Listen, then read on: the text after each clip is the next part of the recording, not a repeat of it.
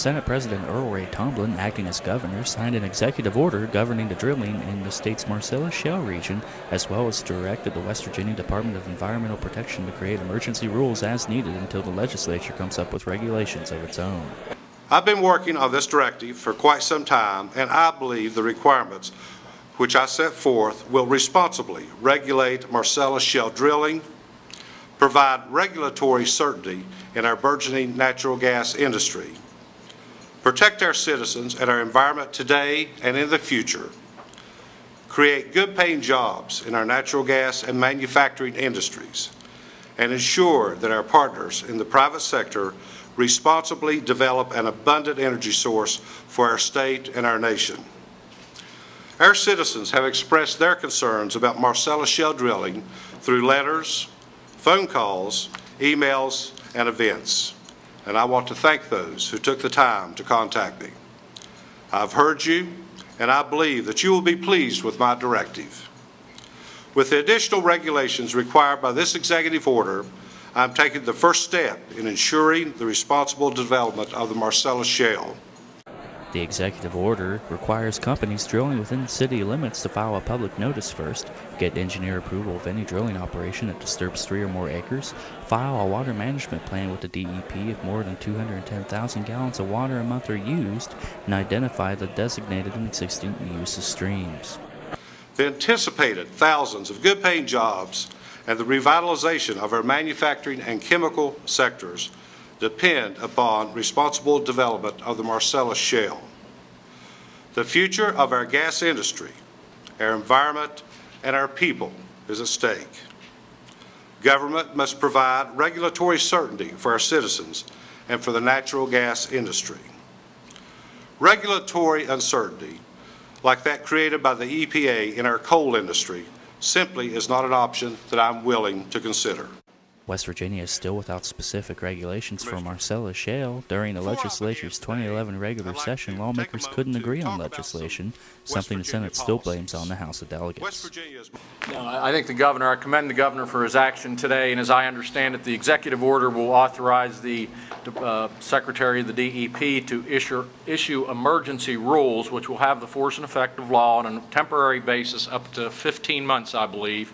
And during that period of time, this legislature is going to be working very diligently and actively in trying to uh, address a long-term and permanent fix uh, framework. But I do commend the governor for his action. Many of the uh, many of the proposals in the executive order are items that have, appear to be in agreement between the, the, the, the houses and afford adequate protection to the environment, the citizens, public notice, and uh, uh, to the industry. So we think it's a, it's a win-win in the short term, and it's a, a first step, a, a, much needed and uh, important first step. And again, I commend the governor for, for that action. The DEP has permitted over 15,000 wells, with 622 wells already producing. The DEP is monitoring these wells and regular natural gas wells with 17 inspectors. We're looking, we're looking at a, this, this is a, a ramp-up process. It's not something that will, that will happen overnight. So uh, we, we will adjust and, uh, uh, and, and modify the program as we go forward. Industry officials praised the acting governor's proposal as a way to bring certainty to the industry. Well, first of all, I'd like to applaud the governor on his uh, direction he gave today. Uh, I think what the industry needs and what the investment community demands is some clarity and certainty in regulations. I think he's provided a great first step to that. Still, those concerned about the dangers of fracking water, property rights, and air quality say much more needs to happen to make the industry safe. Delegate Mike Manypenny was one of several lawmakers and activists that spoke at a rally Monday calling for a moratorium on Marcellus Shale natural gas drilling until the legislature comes up with regulations. This is a step in the right direction. Okay. Um, I believe we have a long way to go to fix all of the problems that there are out there with Marcellus and regulating it, putting protections in for surface owners as well as mineral owners.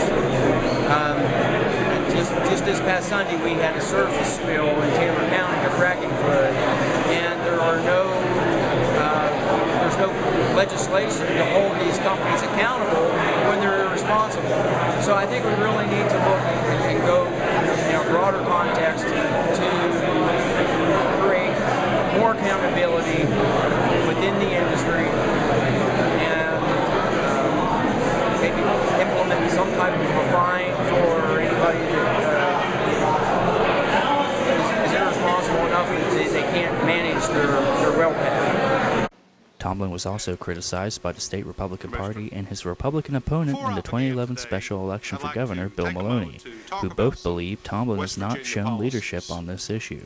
Both Maloney and state Republican Party Chairman Mike Stewart say Tomblin should have called a special session of the legislature in order to get solid regulations. This is Stephen Allen Adams for West Virginia Watchdog.